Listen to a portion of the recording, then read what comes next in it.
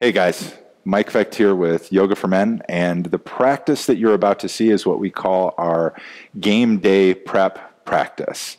And the feedback that I've gotten from the football players that I've worked with is that this particular type of practice done the day before the game left them feeling like they were ready to go when they hit the field the next day.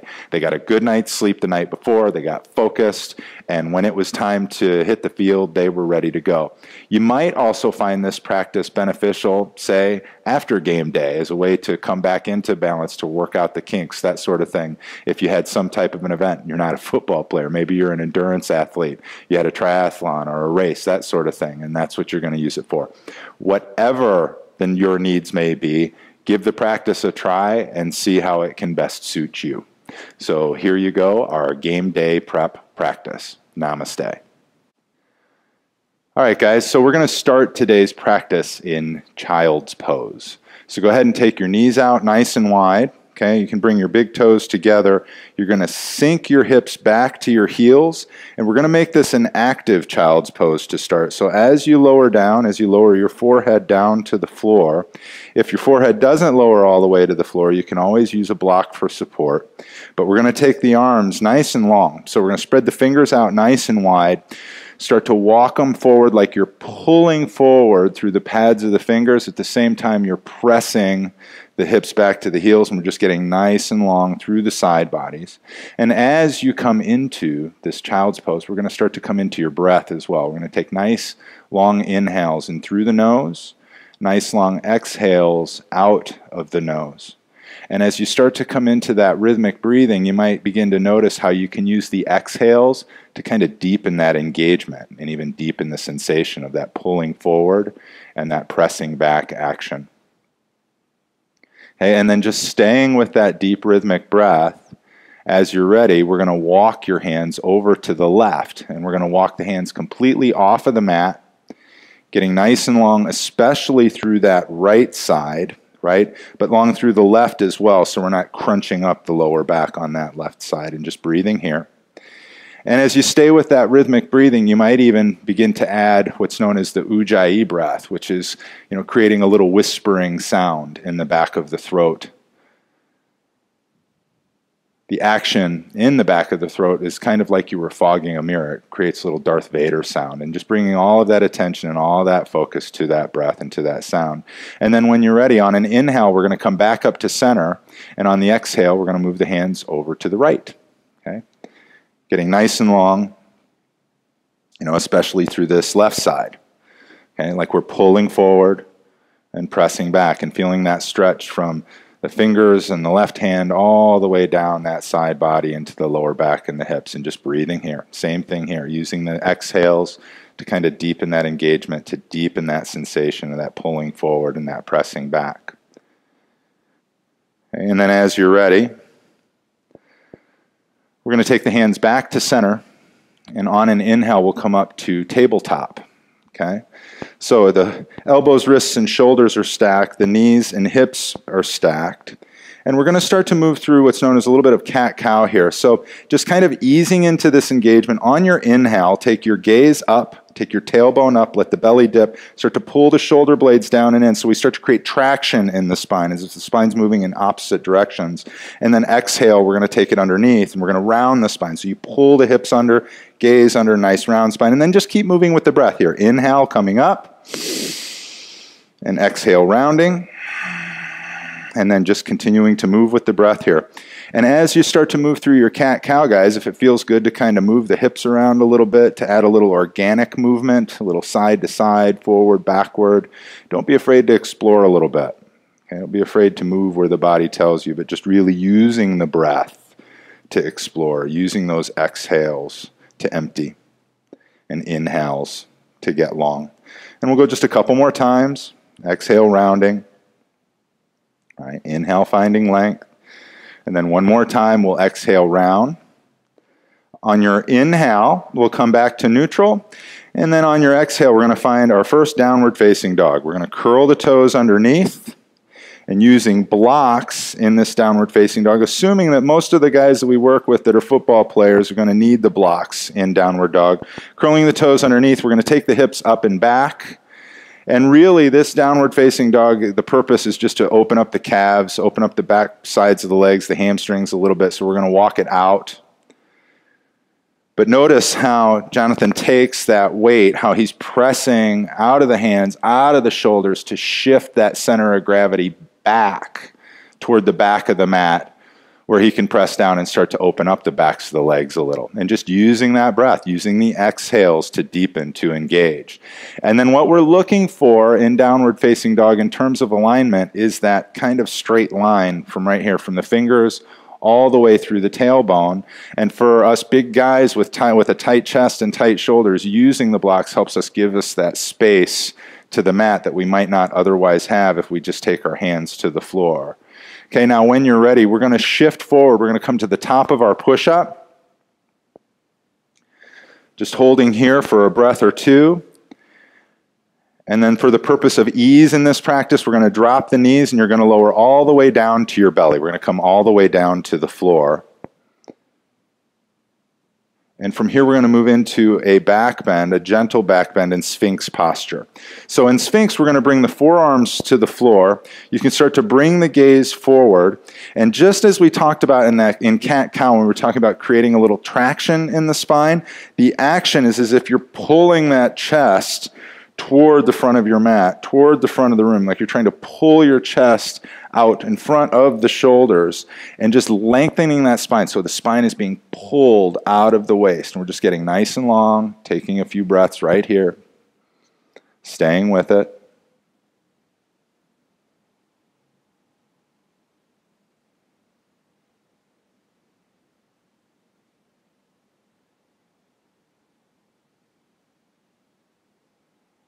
Good. We'll get one more deep breath right here in Sphinx. And then exhale, we can go ahead and lower down. And when you're ready, nice and easy, we're going to take it back to downward facing dog. I'm going to press up and back. You can go ahead and grab your blocks. Once again, shift that weight to the back side and go ahead and walk it out just a little bit.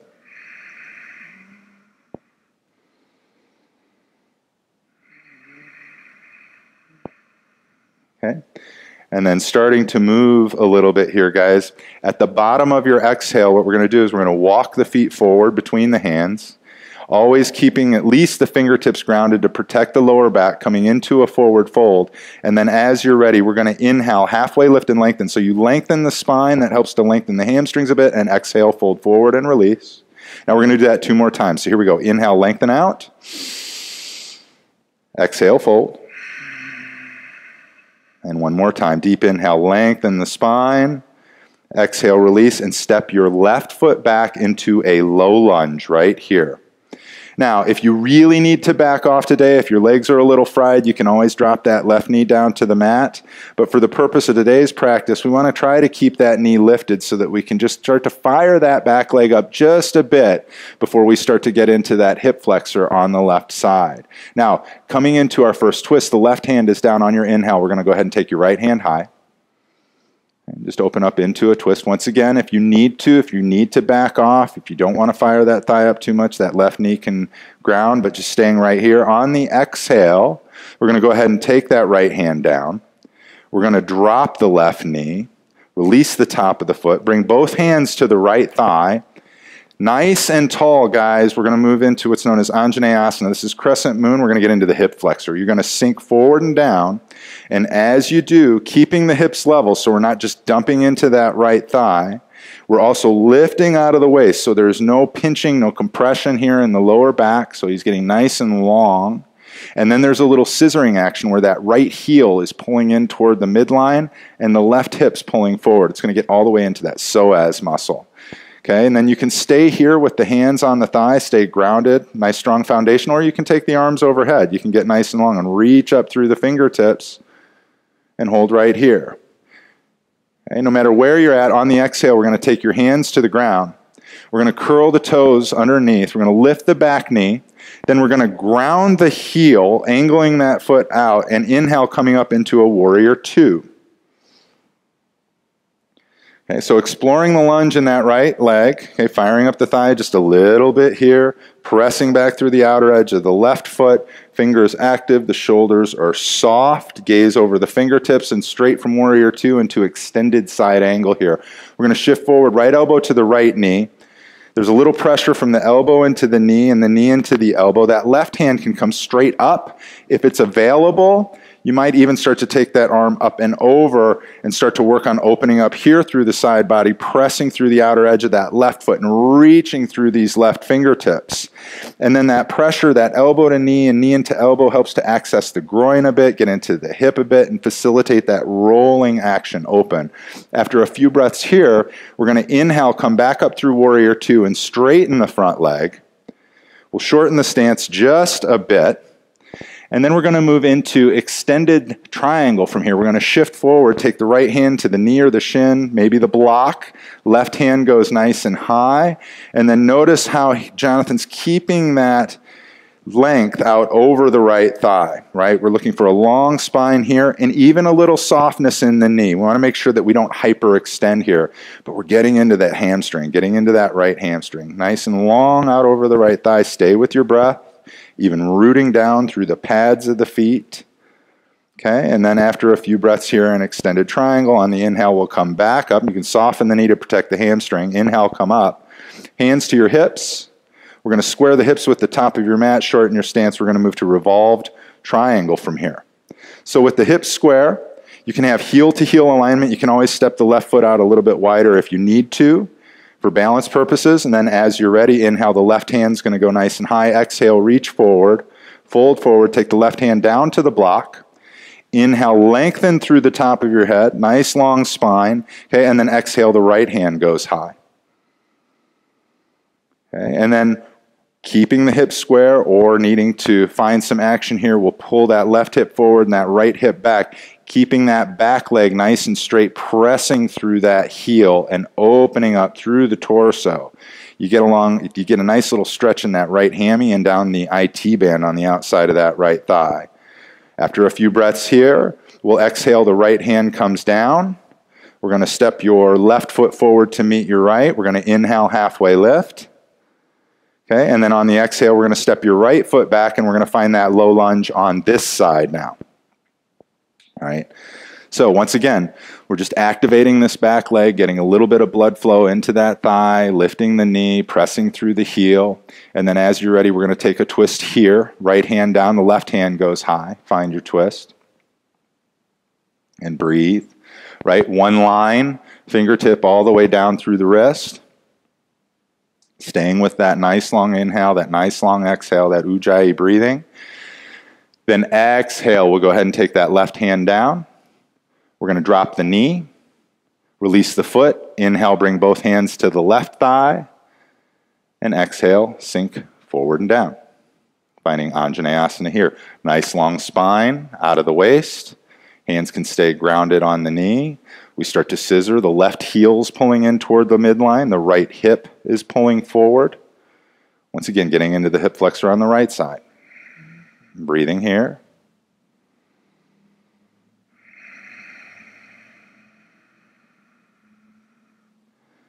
Okay, and then on an exhale, we're going to take the hands to the floor to blocks.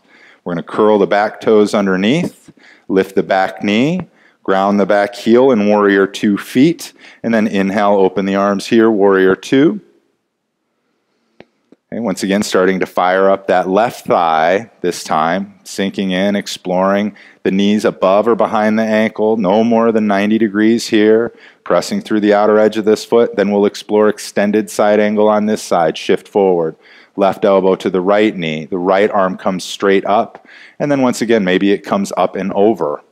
And you're trying to find that line here from the heel through the fingertips. Elbow into the knee, knee into the elbow once again. Maybe here, yeah.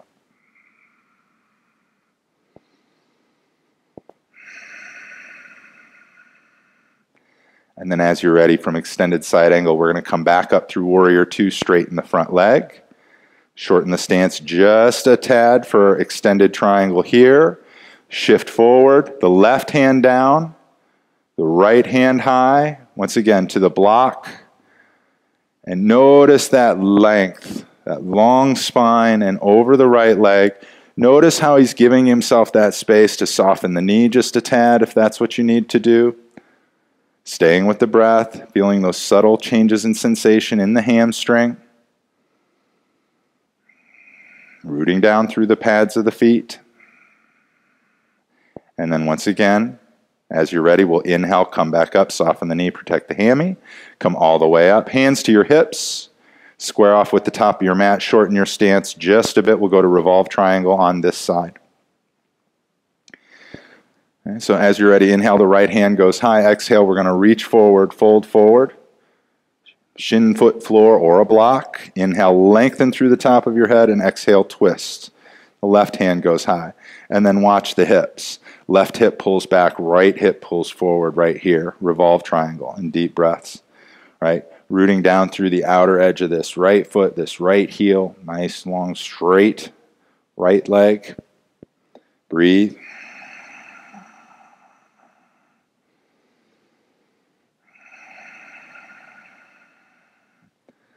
Then we'll exhale. We're going to take the left hand down.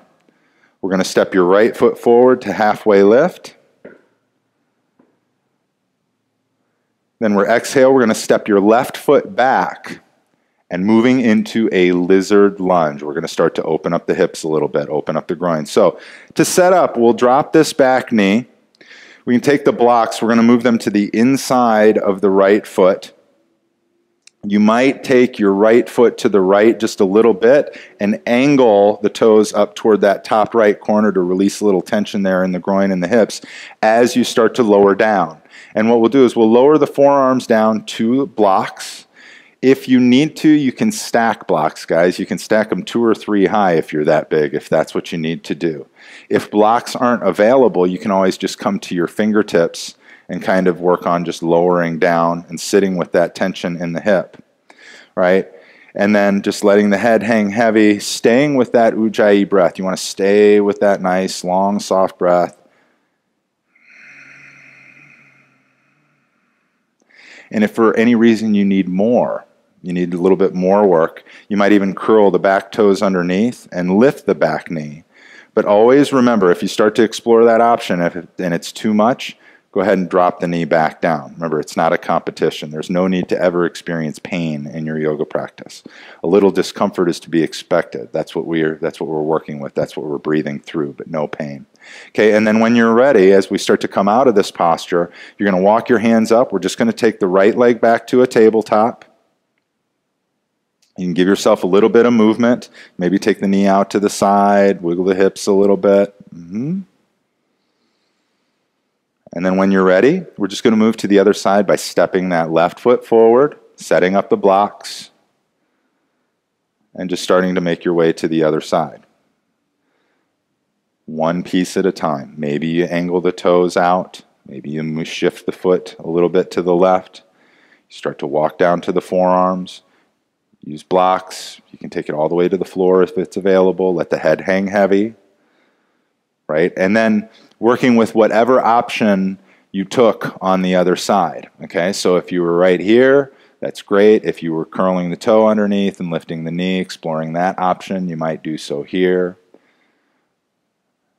And then once again, just working with whatever it is you need. If you need this work, great. If not, you can always just work with the knee down.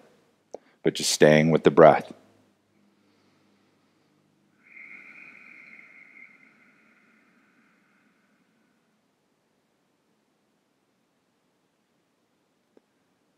And as it pertains to these hip openers that we're working with, you know, you can stay here for as long as you need to. You can stay here for less than we're cueing. Whatever you really need. Now, in terms of athletes, though, these are probably this posture and the one that we're about to do next are by far the most important that I have found in working with athletes. So when you're ready, we're going to go ahead and come on up. You can take the left leg back. Once again, give yourself a little bit of movement here as well.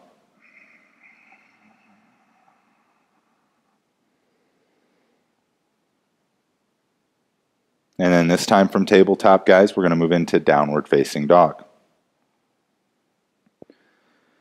And then moving into half pigeon from here.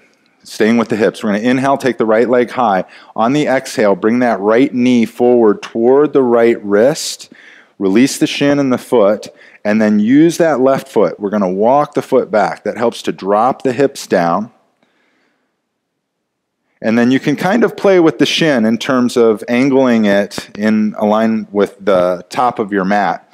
Typically, what happens is, is the further you pull that foot forward, the more that we run the risk of getting some sensation going on in the knee, and we want to stay away from that. We want to keep it all in the hip. Okay, so you can kind of use that for for a gauge in terms of where the foot needs to be. But when you're when you're nice and set up here, you can start to walk the hands forward, and you can come on down. You might lower the forehead down to the floor. If it doesn't come to the floor, you can use blocks, right? But working on keeping these hips level so that we're not just completely sinking off and dumping off into the right side. And once again, trying to keep that sensation in the hip and not moving into the knee. Now, for some of us, this is just going to be completely unavailable, right? Super big guys, super tight hips, this might not work. So we're going to show you a little variation to work with here.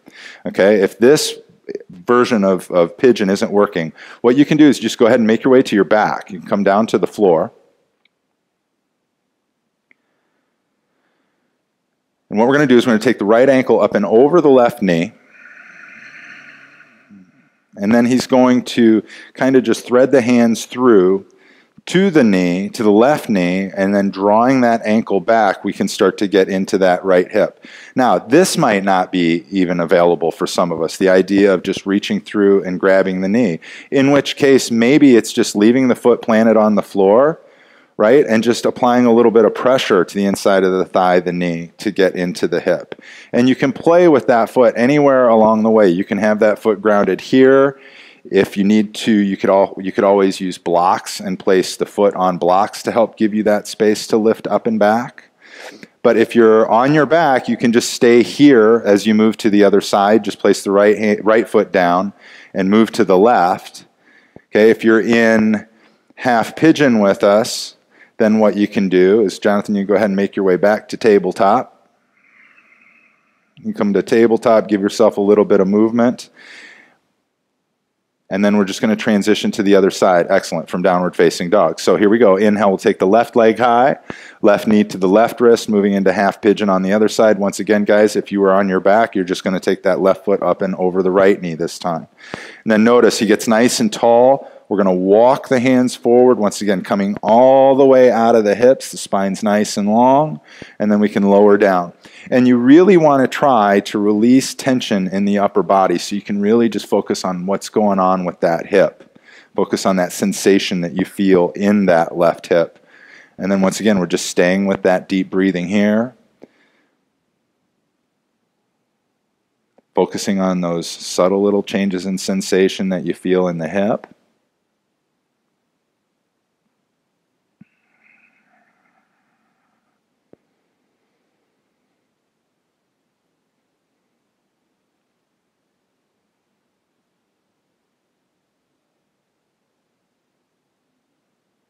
And as always, first and foremost, that breath is the most important part of our yoga practice. And the effects that it has on the nervous system. So, regardless of where we're at, regardless of what posture we're exploring, we're always working with that deep rhythmic breathing, that ujjayi breath, that whispering sound.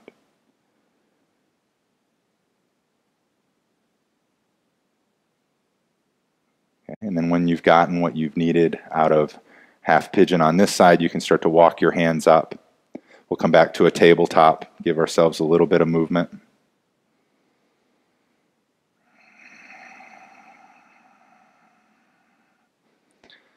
Okay, and then we're going to focus on the bottom of the feet a little bit. We're going to get into a little toe stretch here. So as long as we don't have any problems going on with the feet in terms of plantar fasciitis, or you don't have any ankle injuries going on, you know, you can start to explore opening up the feet a little bit. So what we're going to do is we're going to come into a uh, squatting position first. Okay, so you just kind of walk it back. We're going to bring the big toes together Make sure that you are grounded through all 10 toes as much as possible. And then this might be enough for you right here. Even with the fingertips grounded, just curling the toes underneath, you might start to feel a nice deep stretch in the bottom of the feet, and you can sit right there and sit with the breath. If you've got more available to you, you might be able to start to walk your hands up your thighs and just come into kind of a seated position here where you just get nice and tall. Now, remember, it's never a competition. So, if at any point that gets to be too intense, you can always just walk your hands forward or you can come up and come up and out of the seat for just a couple of breaths and relieve that relief get some relief in the bottom of the feet, relieve that tension, but always staying with the breath, right? And we might only be here for a minute, maybe 2 minutes. Okay?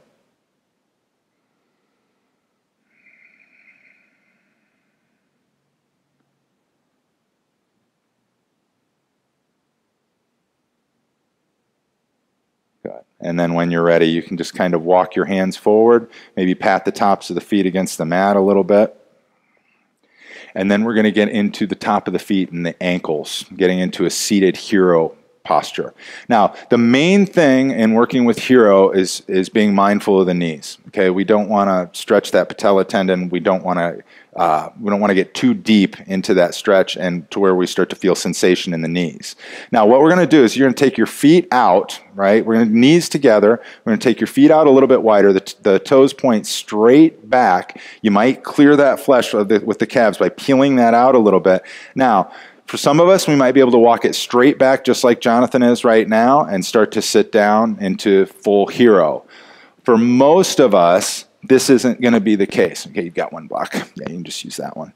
So Jonathan's going to demonstrate using one block right here to give yourself space to the floor. Guys, if you need two blocks, use two. You might use two blocks and even a blanket underneath it, okay, to start to find that. But what we're looking for is we're really trying to focus on what's going on right here with the shin, the top of the foot, and the ankle, right? And then just staying with the breath here.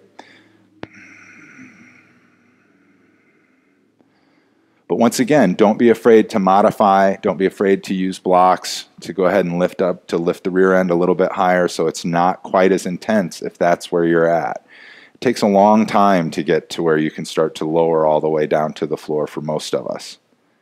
Okay, and then when you've gotten what you need out of seated hero, you can go ahead and start to walk your hands forward And then one foot at a time, we're going to press into the ball of the foot, just extending one leg back, releasing that tension, staying with the breath. Then we'll go to the other side.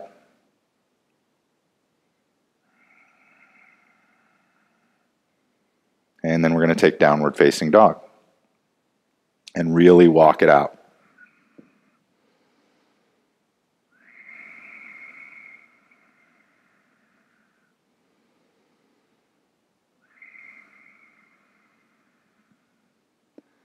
Okay, and then as you're ready, guys, what we're going to do is you're going to come back down to tabletop. You can sink your hips off to the side, swing your feet around to the front of your mat, and just go ahead and lie down flat on your back, Jonathan.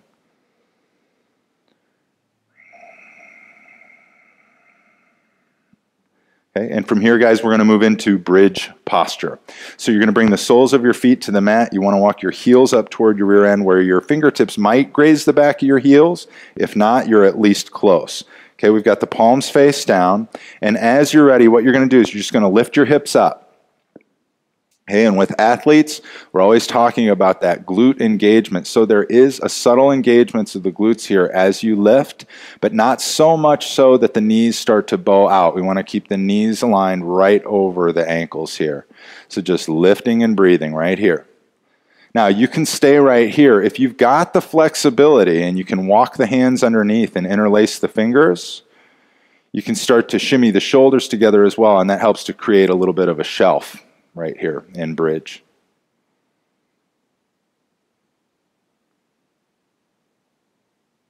Good. We'll take one more deep breath here, and then on the exhale, we're going to lower down one vertebra at a time. We can go ahead and windshield wiper the knees a little bit side to side.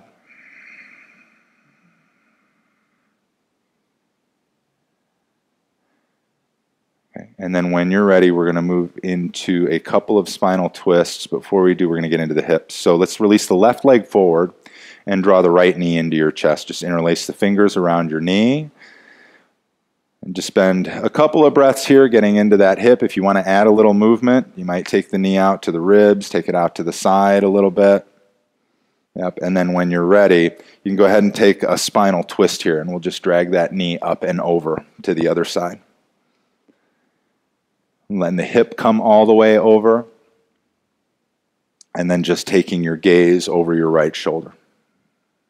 And staying with your breath right here.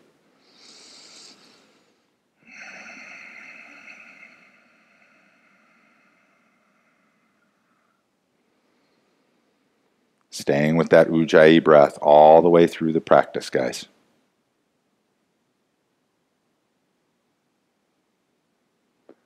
Then, when you're ready, we're going to come back to center. We'll hug the knees into your chest. And then we'll transition through to the other side. Go ahead and release that right leg forward. Get into the hip a little bit. Stay here for just a few breaths. And when you're ready, you can take your twist on this side. You can drag the knee up and over to the right. Let that hip come all the way over and take your gaze over your left shoulder. Once again, stay with the breath. We're almost there. Really work on the inhales through your practice, guys. If you can get nice long inhales, the exhales will take care of themselves.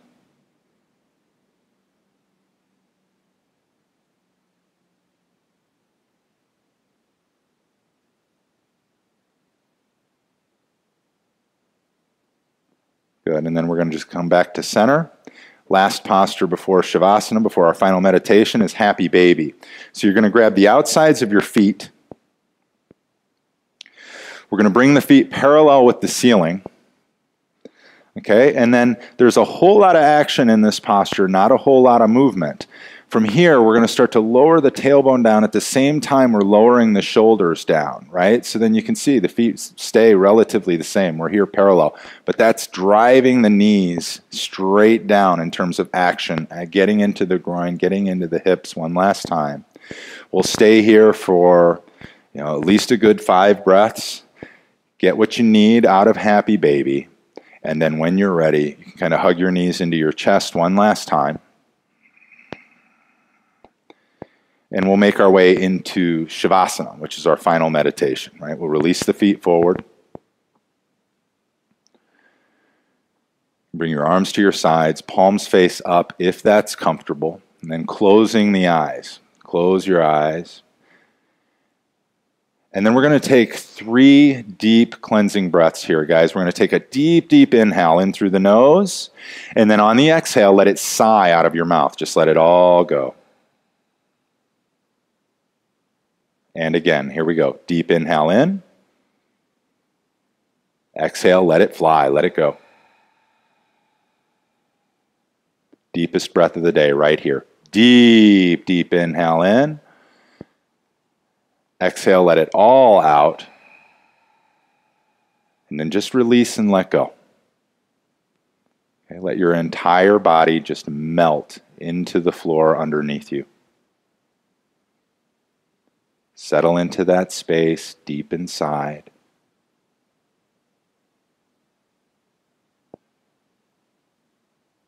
Into Shavasana and our final meditation. I'd encourage you guys to spend at least a good 10 minutes here in meditation at the end of your practice. However, you can stay for as long as you need, as short as you need. Whatever you do, keep practicing. Namaste.